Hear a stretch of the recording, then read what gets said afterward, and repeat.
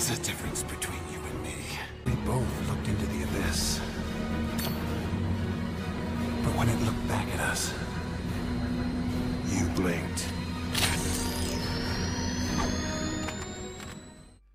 Hi guys, I'm Gravy here, and this is a DC Legends video. In this video, I'm going to go over Poison Ivy. Full disclosure, I used I, I, worked on Poison Ivy a lot back when I was like in the mid game stages because there was there's an ability in her kit that I really really liked and wanted to use, especially going along with Donna Troy. But lately, like in game, lately last two years, I don't really use her much unless she's like a bonus toon or something. So I'm gonna go into this. I'm a little bit raw on Poison Ivy. Don't know her as well as I used to, or maybe I do and just haven't used her much. So I'm going in a little bit raw, just a heads up. We'll see how fast my brain can work. But before we get into that, first off, the final round of the Ultimate Kit Challenge, link below, comment section, description. Please click on that. Please vote. Decide who's the winner of that 50 buck grand prize. 2D or Overtone, Eugene Choi versus Ravager. Please click the link below and vote. Also, I got a lot of comments on my top 10 heroes list, and I, and this is what I said at the beginning of the list. I could not, I really couldn't argue with anybody's points because they were right. You know what I mean? Like they, there, there, were some obvious snubs. Nightwing, someone mentioned Nightwing, and to be frank, I didn't even think about Nightwing. I was like so used to Nightwing being garbage that I never even like he never crossed my mind. Uh, on top of Nightwing, there was uh, someone mentioned Azrael. In that video, I said like I had. I said I put Barda on last she ended up being number four. The person who was in place of Barda was Azrael. So like one thing I've decided to do, and maybe I'll do, I wish I started doing this a little bit earlier, but it'll be another kind of poll. But what I'm going to try to do is get you guys to decide who is the top 10 or who are the top 10 toons uh, in DC Legends. And basically, the format of this is going to be I'm going to set up a form with every single one of the characters in the game. That's right, from Spectre to uh, Atom. Like all from Captain Atom, so many Atoms. Uh, from Captain Atom to Constantine, I'm going to put everybody down there then I'm going to have you guys vote on the 10 that you like the most. And then whoever gets the highest percentage, then we're going to vote on those. And then whoever's percentage is higher is there from 10 to 1. That's how we're going to rank them. So I'm trying to figure, I'm to set that up. Uh, not to be in this video, I don't think. Maybe, it, no, no, because we already have the Ultimate Kit Challenge. So I'm to wait and like put that out a little bit later. But that's going to be the plan in the future. So that way you guys decide my next top 10 list. And then I can just react to that. Uh, on top of that, I'm still short of a thousand subs, and I really want to get to a thousand subs, partially because if it, this gets monetized, then I can kind of be like, hey, I can put out more content, I can do more stuff, and I can justify this actually being something that takes up a lot of my time because I'm actually getting paid to do it. But if you guys don't know, you don't get paid until you have like a thousand subscribers. So anyway, but one of the things I was thinking about doing that I really wanted to do for content was doing a, um, a free to play account. So like start all over. Now I would keep my main account, of course, but then I would start all over and do just a, a free to play account and show you guys every step of the way, all the theories and stuff and philosophies that I put out. Um, I would actually be able to actually like test them, you know what I mean? So I would start my DC Legends account, or we'll start a DC Legends account, free to play. But I'm not going to do that until I reach a thousand subscribers. So I need your guys' help as well. Please subscribe. Please find other people who haven't subscribed. Get your whole family. Make them subscribe. They don't even have to watch it. Just tell them to, to, to click on it. Share the channel with them. Once I get to a thousand subs, then I will start the free to play series. And then I will do a mailbag at the very end of this episode.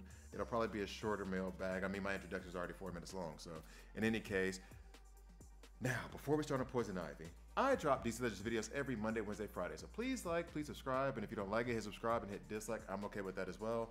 That was a lot of talking all at once, so let me take a sip of coffee. I had cinnamon in my coffee like earlier today, but I don't have any cinnamon in that one, and it's kind of like weird. All right, so anyway, let's go ahead and get to Poison Ivy. There's a skin from Poison Ivy that I really wish I had, um, and I didn't go for it. But I did go for the Mera skin, and I got it. So later today, tomorrow, I'm gonna have that Mera skin. So, Poison Ivy. Although I do like Poison Ivy's look. I like her look a lot. All right, so as you can see, and this is and this is actually like 100% proof that I was building her during like my mid my mid uh, game phase. If you're looking at her kit itself, I'm just putting rings in where I could, where I thought they were valuable at the time.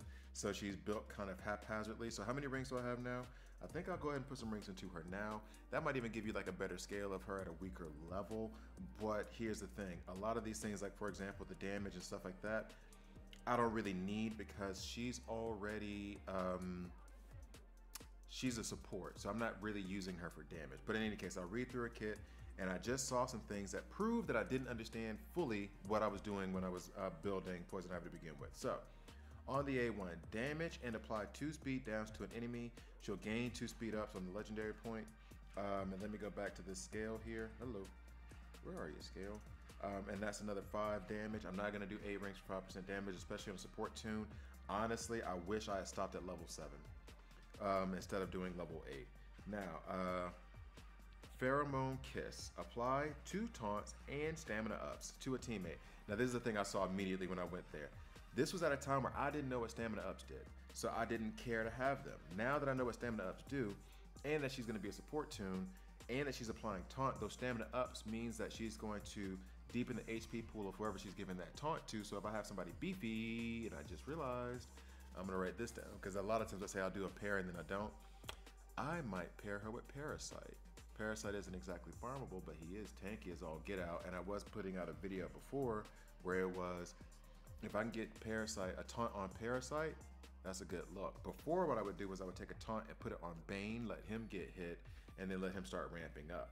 Um, so I will probably put a few more rings into this ability, and then the legendary point is apply crit immunity and 40% chance to call assist. That would have been a good bonus to take. That would have been a good legendary to take because if you're applying the crit immunity, that makes them just that much tankier, that much harder to kill and then call assist. Sure, that's just a little bit of extra. Uh, on the A3, uh, toxic toxin transfer, heavy overheal to a, to an ally, move up to three debuffs from the target onto a random enemy. Up to three additional debuffs um, are moved from an ally onto another random enemy. Uh, if no debuffs on the target, apply two stamina ups.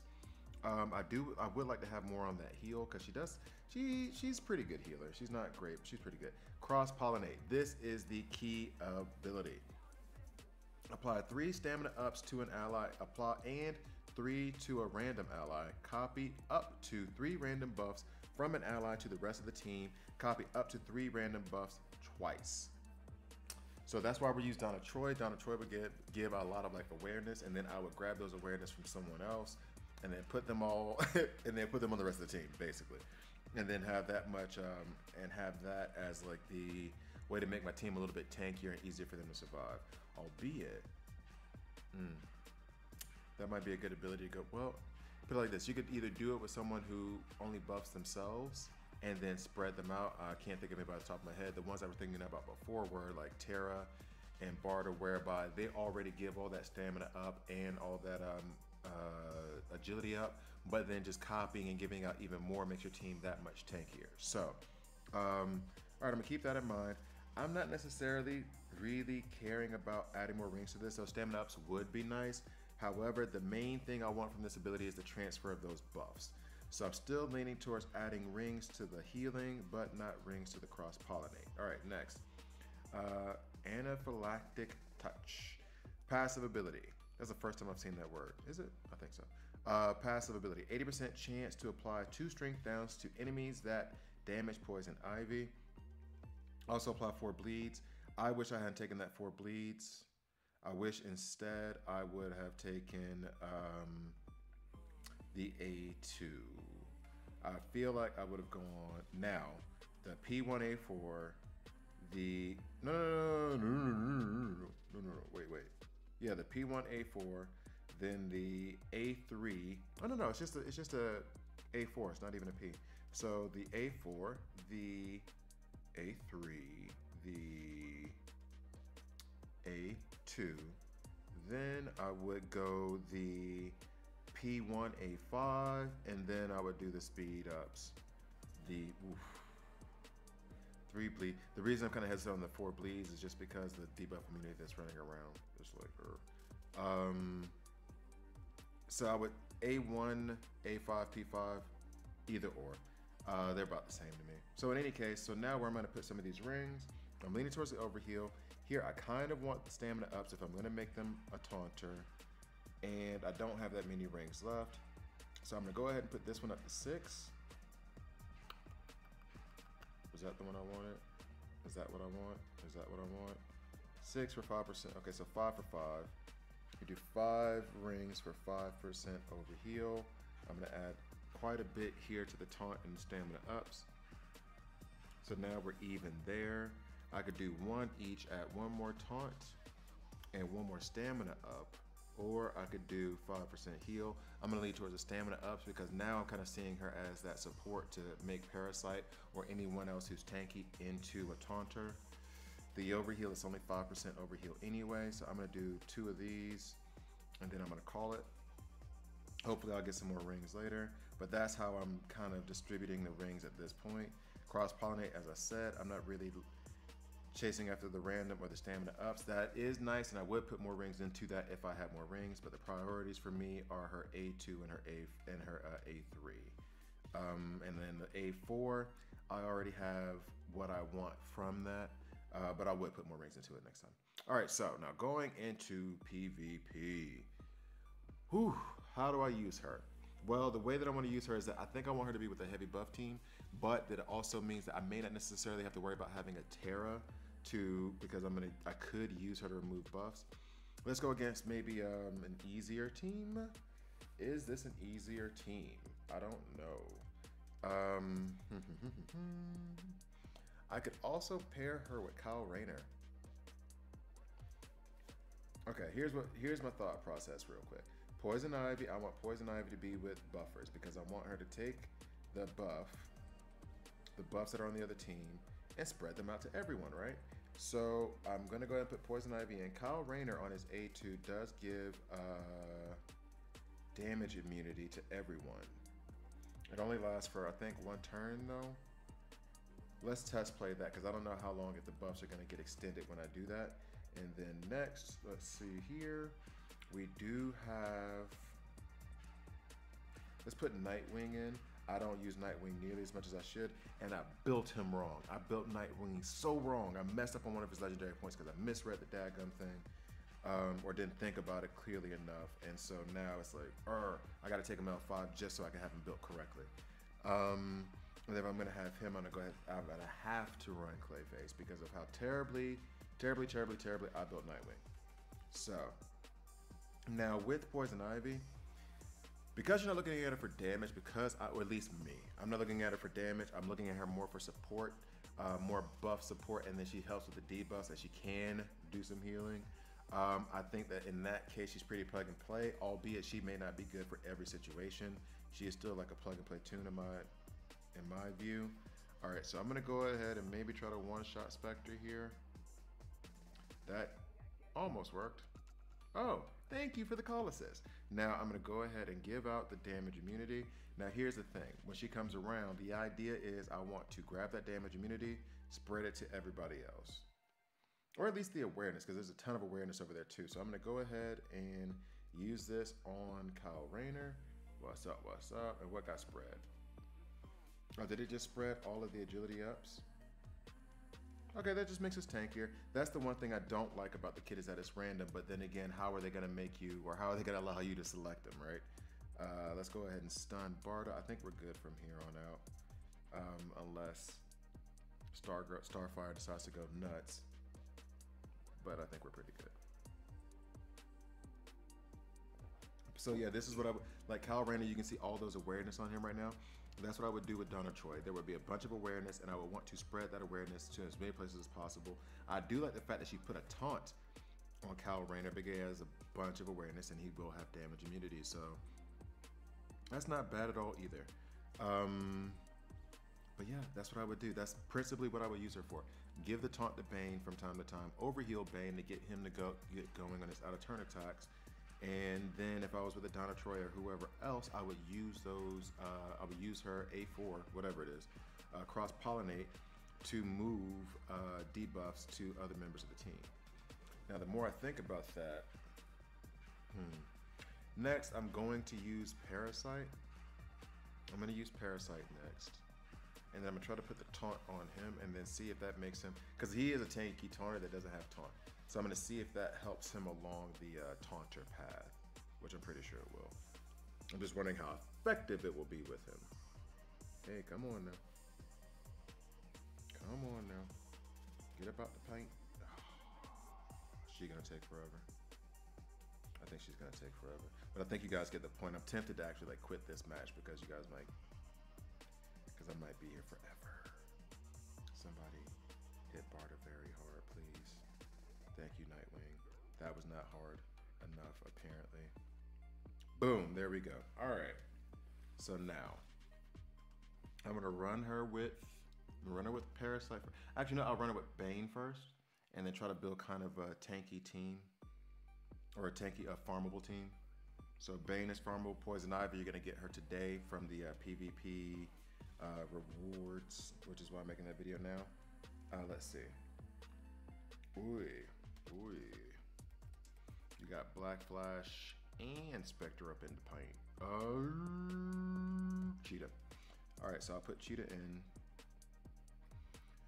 because I'm not going to be able to match up with speed because I'm not going to use Black Flash. I'm making a, a farmable team here. I'm going to use Bane. Where you at, my dude? Um, there aren't any taunters. I am very, very tempted, although this might be remarkably dumb, I'm very tempted to put in Batman to take care of Spectre in a one-shot capacity. However, that, that does not seem smart at all. Should I put, well, no, because I want Bane to be the taunter as well. So that means I need to have a heavy damage. Uh, I'm gonna put in Etrigan for the moment, and then I'll come back to it. Donna Troy is not. I mean, Star Sapphire can heal. She can put that debuff immunity up. Um, I'm tempted to put in Starfire. You know what? You know what? You know what? Let's run with this real quick. Let's run with this. All right, so we're gonna go first because the Cheetah's turn meter which is great, fantastic, and wonderful. Um, then I'm gonna put the taunt on Bane, hope for Spectre to start attacking him, and I want Bane to start getting at Spectre. So let's see. Let's see if we can take out Spectre with Cheetah. Doubt it, but uh, he is overhealed, right? And that means he'll attack twice, but I would love for him to have Dadgum. Dadgum, dadgum. Alright, well, Bane's kind of ramping up at the moment. So I'm going to go ahead and put the taunt on Bane. That is the taunt, right? I'm put the taunt on Bane, the stamina ups, everything. Everybody focus your attention on him. Albeit, I do not like the idea that Arcus is there and I'm giving Bane all this attention. Mm. And of course, Spectre removes everything I just did. So we are screwed. Let's go ahead and get out of here. uh, let's go ahead and get out of here. That is terrible. I just may have to put in Batman just to take out Spectre. Mm. Mm, mm, mm. I picked the perfect time to say I'm gonna put in a farmable team right now. You know what I'm saying? like I should have checked the team first and been like, I'll do farmable in the next one. Uh, so here we go. By the way, Etrigan farmable and Red Alert. Switch Red Alerts does mean farmable. Uh, Bane, Cheetah, farmable, and campaign. Oh, let's see, let's see, let's see. Who is someone who can hit hard? That is farmable. That is not Batman. Maybe it should be Batman though. Maybe let's see how Batman gets along then. Because ah, come on now. Because Etrigan is special damage anyway, so those strength ups didn't really benefit him at all. So having Etrigan, having Batman in with those strength ups, plus he'll be invisible, he'll do the crit damage on his A3, still give the taunt to Bane. Only thing I'm worried about after that point is, uh, well, the only thing. The things I will be worried about at that point are Arcus and Black Flash but we, we stand a much better chance if Spectre's not there. So, hey now, hey now, what are you doing? Come on. And I can hit Black Flash, that means he can only do his A1 because he'll have silence. Um, this will heal and remove buffs, right? Because right now he's stunned. And I don't... Mm, I, mm, I can't give everybody invisibility because then nobody will be invisible. All right, so let's try to move this stun, right? Mm. And now she's gone. so she got the stun off, and now everyone's gonna die. Uh, so then, oh, I may not be able to do my Bane thing. I really wanted to do my Bane thing. But I may have to put in Star Sapphire in place of Bane in order to get this thing cracking. Or should I put in Star Sapphire in place of Batman? Batman took care of Spectre like well enough, so. Ugh, ugh, ugh, ugh. Let's see, let's see, let's see. Who am I gonna put in place? Batman is taking care of Spectre. I need to take Bane out. He's not really made for this damage dealing situation. If I have Bane out, I'm gonna put Grundy in as the taunter. He can take whatever Arcus has to deal. So then in this role, I'm going to be using, I'll be using uh, Poison Ivy to probably take the strength ups from anyone and just spread them to everyone and make Bane, Grundy, and Cheetah all hit harder. So that will be the plan from that from that point from my point of view. So should I still? Eh, why not? Taking a little bit off of them. Every little bit helps, right? All right, so now let's take out Spectre.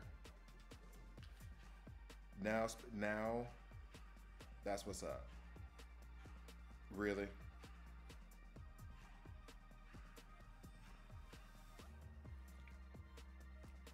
This game. Oh, this game. Game be cheating, bro. Bruh, game be cheating, yo. Oh, I cannot believe that just happened. Oh, that's so infuriating. Woosah. Woosah. Woosah. Let me get some of this coffee. Although I don't think like caffeinating myself is gonna help me keep my nerves calm. Woo saw, man. What was that? Really though. What was that? Oh my goodness. All right, here we go. here we go. All right, now, I was about to say, you, now he wants to, what? You know what? You know what? In the words of, uh, I don't know if you guys watch any sports, anything, but in the words of Swagoo and Perk, you a liar and the truth ain't in you. Oh, so we got a bunch of strength ups on the Batman and the Poison Ivy in that scenario. You gotta love that. Um, I'm gonna go ahead and hit Black Flash. Let's see how hard he hits with all these stuff. Eh, meh. Let's go ahead and put the taunt back onto Grundy with some stamina ups, help him survive these attacks. That's a bet. Yep, yep, yep, yep, yep. That's a good look. Now let's see if we can take care of She's healing. She's doing that support. That if that's heavy overheal. Come on now. I'm gonna need you to drop off those strength ups, Arcus. This is not. Oh. All right, come on. Let's get that taunt back up. Although she seems to be working well with taunters. Like she's in the background. She's doing her thing. She gave him stamina up. She gave him. She gave everybody strength ups. It's all looking relatively good. So it seems as though she like because the Taunter Grundy is already built, awa, because the Taunter Grundy is already built to be beefy, giving him more stamina ups just helps him in that in that uh, way. But at the same time, we drop the death immunity off. Oh, come on. Y'all could have dropped that death immunity off by now. Um, but giving him back the taunt was helpful to us, right? Boom. All right, so let's go ahead and run this one auto. I'll do one more match and then I'll get into a mailbag because I still want to try the uh, Parasite um, Poison Ivy pairing to see if that's even viable. But she did seem to go along well with Grundy there. And I do like how many how many strength ups she gave to like Batman and Cheetah. Like it might even be worth it to run her with Red Robin so that she gets a chance to go before everybody else. Then she can spread those strength ups to everybody else and make the entire team stronger. I could run her with my ramp teams, maybe one of my ramp teams, and spread either intelligence ups or strength ups. Like she's not bad. I think that she could have a place for you in the game. I would definitely recommend like getting her frags, and if you, especially if you're early to mid game, if you, I mean, I think she requires some work and some knowledge of the game and how you're building it. Like the strength ups video, the strength ups, agility ups videos that I put out for the PvP Academy. I'm doing an intelligence ups video after I get done um, ranking up my Constantine because I need a specific build for that for that uh, video. But um, no, I think if you if you utilize those buffs and buffs in the right way, then you can definitely she, like, she can definitely have a place for you. Uh, let's go ahead and put Parasite in. I got so busy yapping, realizing how much value that Poison Ivy can potentially have. All right, come on, come on, come on, come on, come on, come on. So we're gonna use him as a taunter. This is a good situation for him to be a taunter. I think I'm gonna put Red Robin in to be. No, you know what? You know what? You know what? You know what? If he's gonna be the taunter, but then I don't. We're gonna go. Ooh. Let me just put him in place right now for the time being, and then I'm gonna put Impulse in. I was using Impulse over the uh, the um, Alien Blitz, which I need to read in the history of Impulse because I don't know why he's an alien. Um, I thought Impulse just came from the future. I didn't realize he was an alien. Um, who do I want at lead now? Who will have something that I want to spread? Uh, if we go for an affinity matchup, then I'm going to lean towards Mystics. Enchantress might be a good one to run with her, actually. Let's see, any other leads or anybody in general. Donna Troy, I could probably use to spread awareness. Um, Aquaman, not so much. Mm, I used to also run her on an evasion team with like um, Harley Quinn and Batgirl, where I would just spread all the evasion ups. Like you can get you can get outside the box. The more I'm talking about it, the more I'm like, I wish I used her more, or wish that I do use her more because it it just sounds like fun. I used to spread Men's from Star Sapphire. Let's see if we can make disease work. How about that? I'm, just, I'm looking all around. Let's just do Roz. I think Roz is actually up this month as one of the um, toons that you can use in one of the events. And then I'll do a couple of comments because this is running longer than I thought. I'll do a couple of comments and then I'll sign off. So here we go. Who do I want to stun? Let's go ahead and do that. Doesn't matter that much. We're going to strip whatever buff we can from him. Hooray, hooray for Roz giving out that disease and the silence. Gotta love it. Now I'm gonna give Parasite the taunt and the stamina ups. He has now become our tanky taunter. He's an excellent, beefy guy, beefy toon. Let's let that disease spread a little bit. Nobody has any buffs. I shouldn't have used the A3, but some of them went down. All right, more disease, more disease. This worked out way better than I expected. Wow. I'm gonna have some fun with this. I'm gonna. I think I'm gonna use poison ivy a little bit more. I think. I think I'm gonna have some fun with poison ivy this this month, this week. I should say. Hell, maybe this month, because that was fun. All right, so I'll get into a quick mailbag, and then I will call it a video. Uh, where are you at? Where are you at? Where are you at? Where are you at? Who you at? Here we go. So going into the comments. Um. So, oh, well, this is on my DC, because I have on my Patreon uh, DC Legends roster advice. For those who are members of the Patreon, then you can give me your roster, and then I do a whole video based on your roster and what I think you should do. Um, so that was from, this is from Killer Instinct. That Black Flash would really help me out. Uh-huh, Black Flash helps out a lot of people. they need to have his pack. Uh, next is Darth Derek. Someone in my alliance said to save gems for Lois packs agree or disagree if I don't have any currently. Um, and then Ash Azad put as a reply, Lois or Barda. okay, so and this is this is to be kind of difficult for me to give an evaluation on just because I just like we just got finished with raids yesterday, and Lois is a absolute monster when it comes to raids. And if you have a good team, even if you don't have a good team and you're just trying to get some like solo trophies, like Lois is invaluable if she's built correctly. Like she is absolutely invaluable. She is putting up yesterday.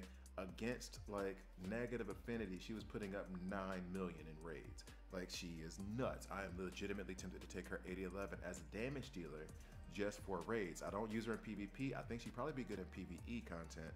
Um, but like with regards to raids to get those resources and those milestones as well, she might be worth the investment in terms of buying her packs. As you guys know, I'm typically anti-packs, but she might be worth the value of packs if um, if nothing more than she's just going to be a raid farmer for you. She's going to be she's going to take out a lot. Let me you know let me see what's going on here.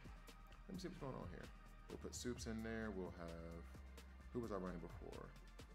Uh, let's go ahead and put in Poison Ivy real quick. That is not Poison Ivy. Oh, and I put heroes, didn't I? I always do that because I always use the female heroes. Um, and then, I mean, I guess Hippolyta, because Hippolyta is great at giving buffs, and then if Poison Ivy is just spreading them, awesome. So yeah, and then as far as Lois or Barda, Barda is much the same, except Barda's like a PvP beast.